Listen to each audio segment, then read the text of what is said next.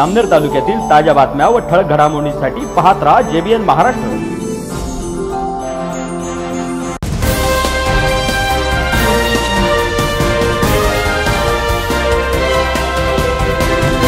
नमस्कार मी वर्षा जाधव. पाहूया काही ठळक वृत्त. सकल मराठा समाजाच्या विविध मागण्यांसाठी पाळधी येथे नाचनखेड्या चौफुली या ठिकाणी रास्ता रोको आंदोलन करून जलसमाधी घेतलेले शहीद काकासाहेब शिंदे यांना आंदोलकांतर्फे श्रद्धांजली वाहण्यात आली.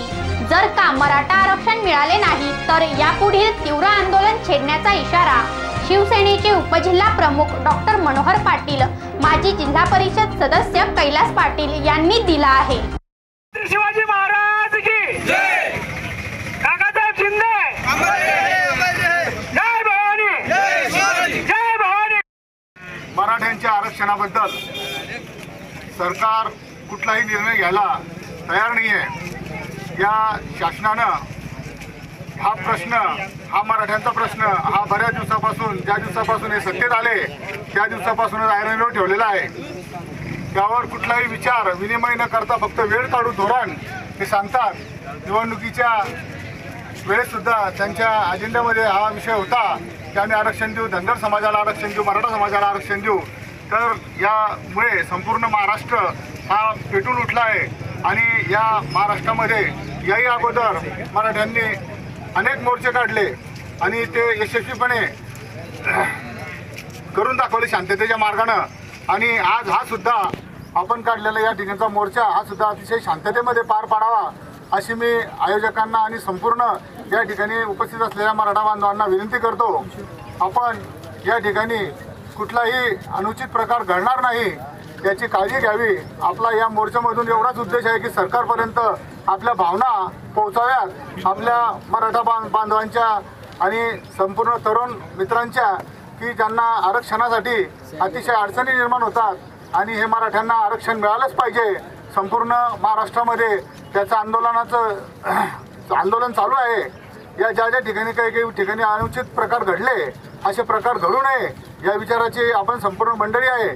म्हणून मी या निमित्तानं एक आव्हान करतो की शांततेच्या मार्गानं जेही असेल ते सरकारपर्यंत आपलं पोहोचवण्याचं काम आपण या ठिकाणी केलं पाहिजे. आज या ठिकाणी आपण टी व्हीच्या बातम्या ऐकतो की सरकारचं चाललं आहे की आर्थिक निकषावर आरक्षण द्यावं. परंतु ते काही घटकांना मंजूर नाही. त्यांचं म्हणणं संपूर्ण लोक गरीब आहेत मराठा समाजापेक्षाही बाकीचे लोक गरीब आहेत. मग संपूर्ण म्हणजे खुले वर्ग काय आणि हा वर्ग काय? एकच राहील असं विचारवंतांचं म्हणणं आहे. तर त्यावरही सरकारचं काम चालू आहे. परंतु या सरकारनं लवकरात लवकर यावर निर्णय घ्यावा आणि आमच्या संपूर्ण मराठा बांधवांना धनगर बांधव असतील मराठा बांधव असतील यांना निर्णय आरक्षण द्यावं आणि ही कोणती सोडवावी अशी मी सर्वांच्या तर्फे शासनाकडे विनंती करतो. आणि हा बंद असेल किंवा मोर्चे असतील किंवा जे काही भावना तुम्हाला दाखवायच्या असतील शासनाविरुद्ध किंवा या शासनाच्या निर्णयाविरुद्ध ते अतिशय शांतपणे संयमाने या ठिकाणी आपण शासनापर्यंत त्या पोहोचवल्या पाहिजे. यासाठी सर्वच तरुण कार्यकर्त्यांना मित्रांना विनंती करतो की आपला आजचा जो बंद असेल किंवा यापुढे ज्या जो काही करायचा असेल आपल्याला ते शांततेच्या मार्गाने आणि सनदशीर मार्गानं कायदेशीर मार्गानं आपण हा कायदेशीर मार्ग अवलंबून हा कार्यक्रम केला पाहिजे असं मला वाटतं. म्हणून मी या ठिकाणी एवढेच विनंती करतो की शासनाने जागे व्हावं आणि मराठ्यांच्या म्हणण्याप्रमाणे त्यांना आरक्षण द्यावं. आणि शासनात सांगू इच्छितो की ज्यावेळेस डॉक्टर बाबासाहेब आंबेडकर यांनी घटना लिहिली त्यावेळेस मराठा समाजाची परिस्थिती आमची परिस्थिती चांगली होती. कारण शंभर एकर दोनशे एकर तीनशे एकरचे जमीनदार त्यावेळेस होते. वीस वीस पंचवीस पंचवीस एकरचे जमीनदार होते. आमचे आजोबा बंधोबा त्यावेळेस श्रीमंत होते. म्हणून त्यावेळेस बाबासाहेबांनी दूरदृष्टी ठेवून तरीसुद्धा घटनेमध्ये मराठा समाजाला आरक्षण मिळालं पाहिजे अशी तरतूद करून ठेवली. आज परिस्थिती उलटी आहे. आज एक एक एकर दोन दोन एकरवर प्रत्येक शेतकरी आला आहे मराठा समाजाचे बांधवही आले. आता बऱ्याच आमच्या गावामध्ये काही लोक मराठा समाजाचे भूमिहीन झाले मजुरीशिवाय पर्याय नाही. आणि ज्यांच्याकडे शेती येताना शेती परवडत नाही. म्हणूनच मोठ्या प्रमाणावर शेतकऱ्याची आत्महत्या होत आहे. आणि त्यात मराठा समाज अग्रेसर आहे. कारण सर्वस्वी शेतीवर अवलंबून असणारा समाज मराठा समाज होता. आणि आज शेती नाही उद्योग नाही रोजगार नाही त्या माध्यमातून उत्पन्न नाही. मग त्याच्यामुळे त्याला आत्महत्येशिवाय पर्याय नाही. आणि तरुणांना काम नाही. मग तरुणांना काम नाही म्हणून मराठा समाजाने जी मागणी जाऊन धरली ती मागणी माननीय मुख्यमंत्र्यांनी सुद्धा आपल्या जाहीरनाम्यामध्ये कबूल केलं होतं की आम्ही मराठा समाजाला आरक्षण देऊ. ज्यावेळेस काँग्रेस राष्ट्रवादी सत्तेवर होती त्यावेळेस मराठा समाजाच्या मागण्याकडे मागणी मागताना मुख्यमंत्र्यांनी जे आज विद्यमान मुख्यमंत्री आहेत देवेंद्रजी फडणवीस यांनी सुद्धा सांगितलं होतं की आम्ही जर सत्तेवर आलो तर आम्ही मराठा समाजाला आरक्षण देऊ धनगर समाजाला आरक्षण देऊ. ज्या ज्या समाजाला त्यांनी आरक्षण देण्याचं कबूल केलंय तेच वचन या माननीय मुख्यमंत्र्यांनी पाळावं. आणि आम्ही सुद्धा सत्ताधारी पार्टीचे कार्यकर्ते जरी असलो तरी आम्ही आमच्या नेत्यांच्या लक्षात आणून देऊ की आपण सुद्धा त्यावेळेस आम्ही त्यावेळेस आम्ही मत मागतानाच बोललोय समाजाकडे की आम्ही तुमच्या घरचं काही करू. मग आताही आम्ही नेत्यांकडे तीच मागणी ठेवू की तुम्ही जे कबूल केलंय मराठा समाजाला आरक्षण द्यायचं किंवा इतर समाजांना आरक्षण द्यायचं जो आपण मॅन्युफॅक्चर जाहीर केला होता आपला जाहीरनामा प्रसिद्ध केला होता त्याप्रमाणे आपण वागावं एवढीच विनंती करू. मराठा समाजाच्या आंदोलनात म्हणजे सहभागी झालेल्या त्यांचं मी अभिनंदन करतो. काकासाहेब शिंदे चेहरा बा चेहरा बा वय बा आणि बलिदान पा. पुण्याकरता बलिदान झालं?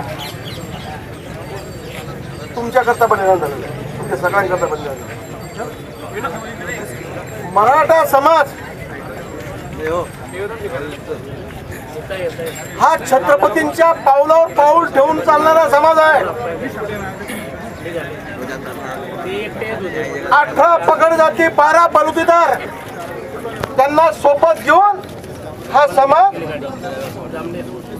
जीवन पुढे लोटत आहे चालत आहे. इतिहास मागे पडत आहे.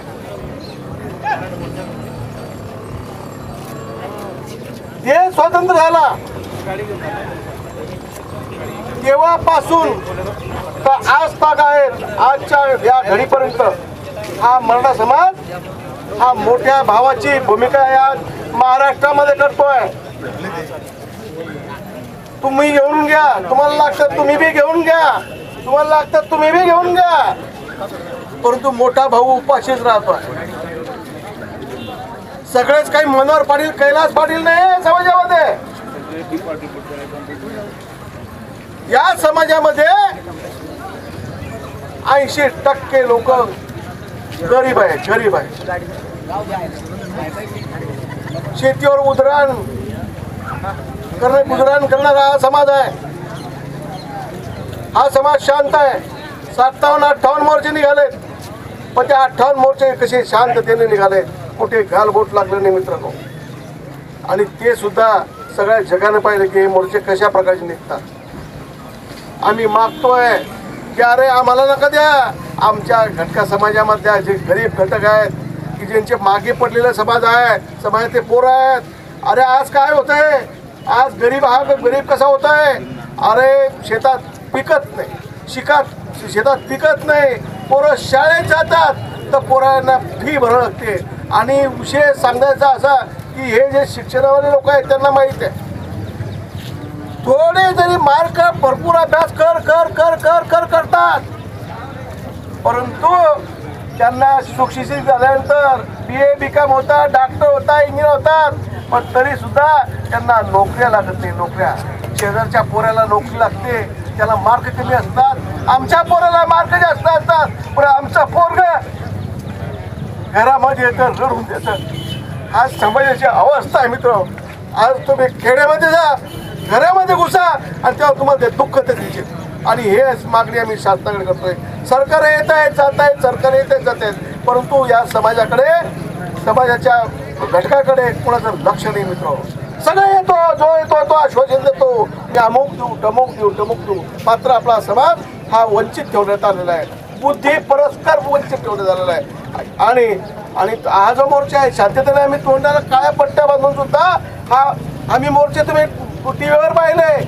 लाखा लाखाचे मोर्चे पाहिले. मात्र कुठे गालबोट लागलं नाही. मात्र हाच हा जो समाज आहे याला दिवसू नका.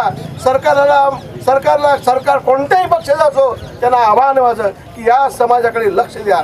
आणि जर काय लक्ष दिलं नाही तर हे रस्त्यावर उतरल्याशिवाय राहणार नाही. आणि ज्या वेळेला हा समाज रस्त्यावर उतरेल मित्र हो इथे गाडी नाही.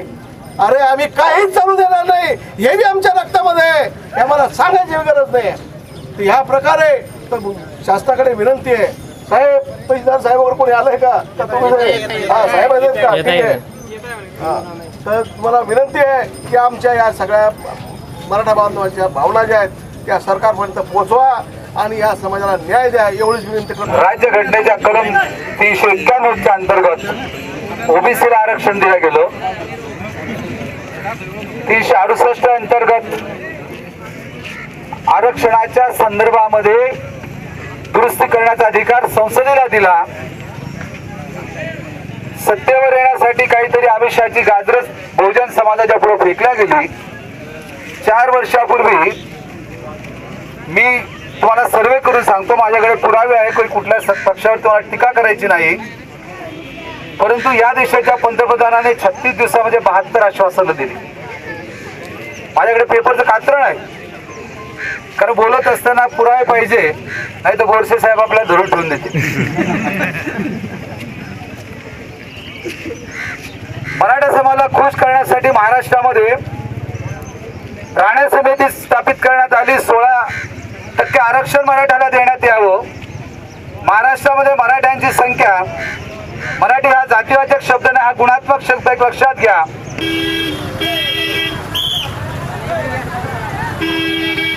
पुन्हा